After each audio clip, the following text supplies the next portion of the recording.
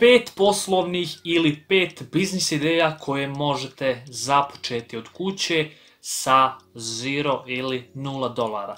Dakle, u današnjem videu ću vam društvo pričati o naravno o, o, opet o idejama koje vam mogu koristiti ukoliko naravno tragate za načinima kako pokrenuti posao, kako pokrenuti biznis i tako dalje.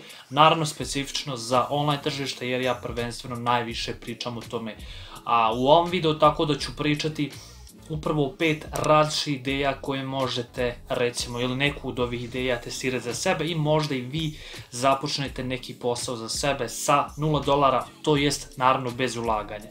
E sad, zašto ovaj video? Pa zato što mi često, svi na internetu što radimo, što promovišemo neke proizvode, usluge, često se tu naravno i što je ok, pominje ulaganje, trebaš ovoliko, trebaš platiti za taj proizvod, trebaš platiti članarnu da bi bio dio igre i tako dalje. I to je sve naravno ok, ali a ne želim, odnosno želim da vam kažem da to nije uslov da baš i vi možete zaraditi, odnosno znači a, ne postoji ograničenje da vi možete a, kako bih vam to rekao, znači nije 100% rečeno da vi baš morate uložiti da biste zaradili neki novac na internetu, jer vi možete zaraditi čak i bez ulaganja. Naravno, poenta je da znate kako i da slijedite upravo a, tu neku metodu koja je koja recimo izvedljiva, izvodiva, kako god, da zarađujete bez ulaganja. E sad, znači prva poslovna ili biznis ideja sa kojom koju znači možete pokrenuti ili dodatni ili kako god vi to zamišljate na internetu, općenito posao je freelance writer ili pisac, znači freelance pisac. Šta pod ovim podrazumijevam? Znači, prosto ako imate skills, odnosno vještinu pisanja, znate pisati šta ja znam, citate, tekstove, a, tekstove, mislim, romane i tako dalje, zapravo vi možete naći takvu vještinu ili možete takvu svoju vještinu ponuditi na tržištu i biti nagrađeni sa nju, zarađivati sa njom. E sad mnogi će reći, ok, ali kako, gdje, gdje da nađem takve klijente? Pa, pra, pa prosto znači kao pisac imate jako veliko tržište pred sobom.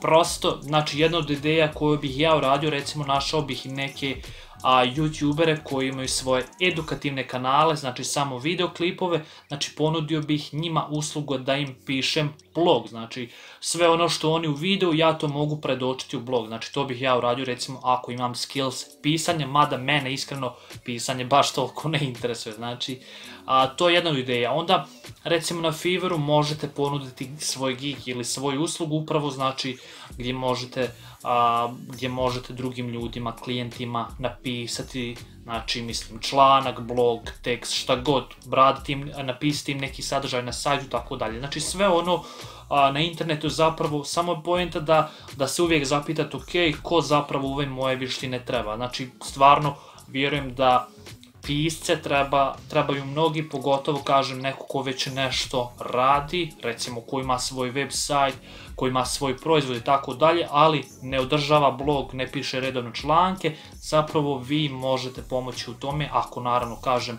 a, znate ili umijete pisati, ponuditi im svoje usluge i naravno ljudi vas mogu plaćati za to. Znači freelance writer, writer ili pisac zapravo jako dobra i što je najbitnije zero, znači sve što vam je neophodno je vaš trud, energija i bit ćete naravno za to nagrađeni, odnosno te vam osobe mogu plaćati za to. Druga poslovna ideja koju možete započeti sa 0 dolara je virtualni ili virtualni asistent. Šta pod ovim mislim? Znači pod ovim mislim da vi zapravo pošto se kaže asistent, znači vi već na neki način znate da ćete pomagati nekome. Konkretno vi možete pomagati bilo nekim firmašima, kompanijama, bilo nekim klijentima, svejedno. Znači opet sa ciljem a, da znate da te osobe nešto recimo rade i treba im konkretno pomoć. Recimo u mom slučaju, ajde recimo ja sad ja sam sad kao no poduzetnik, online poduzetnik, promovišem različite proizvode usluge, što znači, recimo vi već možete pretpostaviti, ok, možda Haldu treba pomoć u vidu video editovanja, zašto ne?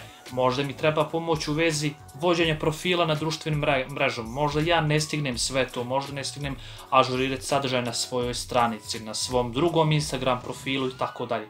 Znači, virtualni asistent također može biti jako dobro i plaćeno, pod uslovom naravno ako pronađete baš te idealne klijente koji trebaju vašu pomoć. E sad, šta konkretno im možete ponuditi? Pa znači opet možete ponuditi uslugu da šaljete mailove ili da, da odgovarate na njihove mailove, znači virtualni asistent, znači pisanje statusa na društvenim mrežama, znači redovno održavanje interakcije sa publikom ili sa fanom, video editovanje, vođenje profila na Instagramu, učitavanje slika, storija, znači sve to podrazumijeva se pod stavku virtualni scen, znači prosto sve ono što taj neki, ta neka osoba recimo ne može samo uraditi, a vi možete pomoći u tome. Znači najteži dio je uvijek pronaći baš takve klijente koji zapravo trebaju vašu pomoć, ali uz malo truda, zalaganje, znači možete pronaći takve klijente i oni vas mogu platiti za to.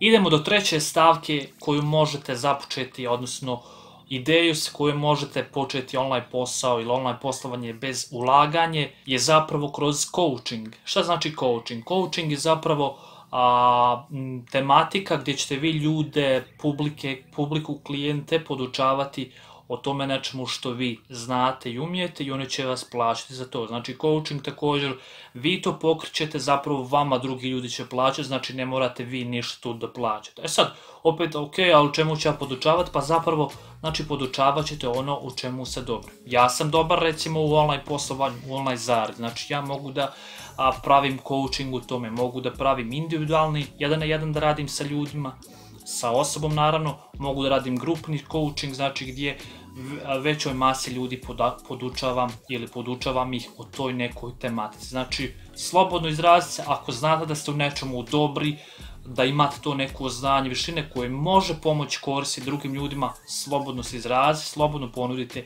ljudima coaching. Naravno, ako želite coaching, ako želite da više učite online poslovanje, općenito Facebook, Instagram marketing, YouTube marketingu, možete se prijaviti kod mene na mail i učiti više o tome, zašto da ne.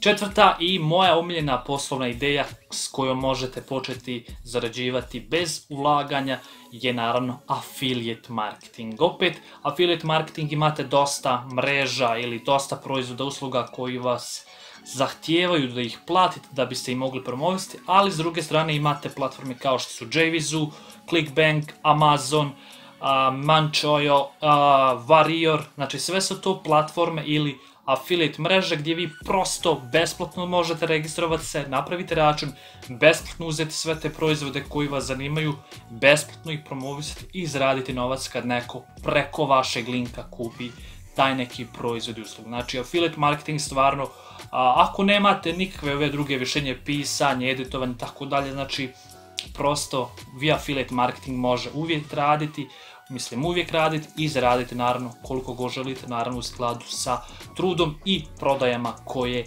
koje zapravo napraviti. Ako želite da učite više o affiliate marketingu inače ili da radite sa mnom konkretno affiliate marketing i mojim timom, također u deskripciji ili u opisu ovog videa će biti a, svi prateći linkovi i naravno opis o tome. I peta ideja sa kojom možete započeti bez ulaganja ili sa 0 dolara je zapravo pokretanje vlastitih kurseva. Znači ovo je povezano na neki način sa coachingom, to jest trebate imati to neko znanje ili vištinu u nekoj određenoj tematici kojom se bavite. Recimo, dobri ste u fitnessu, znate sve o tome i tako dalje, znači vaš zadatak bi bio da kreirate ili ako ne sami da vam neko pomogne da kreirate svoj vlastiti kurs o tome i onda ga zapravo prodajete online. Znači svako kupi taj kurs, vi zarađujete novac, pokrenuli ste ga sa 0 dolara, odnosno vi ste ga pokrenuli sa svojim trudom, zalaganjem, energijom i naravno znanjem i vještinama. Tako da to bi, to bi bilo to, odnosno to je bilo pet biznis ideja sa kojima možete pokrenuti online posao sa 0 dolara dolara ili zero, znači tako da nema više izgovora, znači ako vam neko kaže trebaš uložiti tako dalje, ne trebaš uložiti, naravno ako imate to neko određeno znanje i vještine, uvijek će biti neko spreman da vam plati za to, ali na vama je da se angažujete i da to svoje znanje vještine ili možda ovu ideju koju ste čuli danas, da to prezentirate drugima i da vas oni prosto za to plate. Ako vam se ovaj video dopada, lajkujte ga, podijelite ga sa svojim prijateljima, publikom, da i oni vide na koje sve načine možda i oni zapušu neki online posao sa 0 dolara. Kao inače, još jednom, ako želite da radite sa mnom, tu su ispod videa u deskripciji svi prateći linkovi. A mi se vidimo u narednim videoklipama, do tada čao i sve najbolje. Money.